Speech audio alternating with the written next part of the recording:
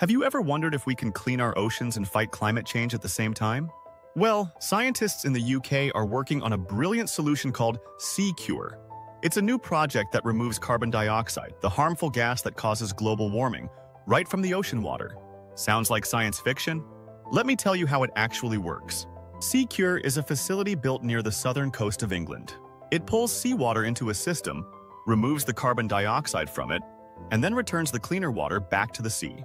When CO2 is taken out of the water, the ocean naturally absorbs more CO2 from the air, helping reduce the total amount of this harmful gas in our atmosphere. To explain it simply, think about opening a soda bottle. It fizzes because carbon dioxide gas escapes. SeaCURE does something similar. It changes the seawater to make it more acidic in a special tank, and that causes the CO2 to bubble out as a gas. Then, that gas is collected and stored safely underground. Cool, right? Right now, the project is still small. It removes around 100 metric tons of CO2 each year.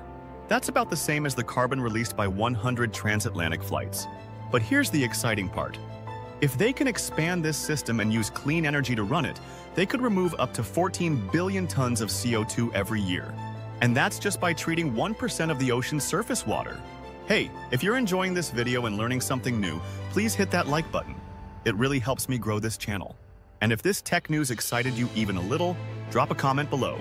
Your feedback motivates me to make more videos like this and keep you updated with the latest innovations in technology.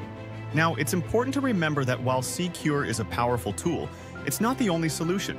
We still need to cut emissions from cars, factories, and other sources. But SeaCURE shows us that smart, science-based ideas can be part of the answer.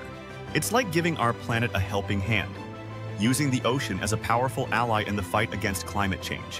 What are your thoughts on this ocean cleaning carbon remover? I'd love to hear your feedback in the comments. Also, remember to like, share, and subscribe if you're interested in tech news that could transform our future. Your support motivates me and helps showcase more impactful ideas. Thank you for watching, and I look forward to seeing you in the next video.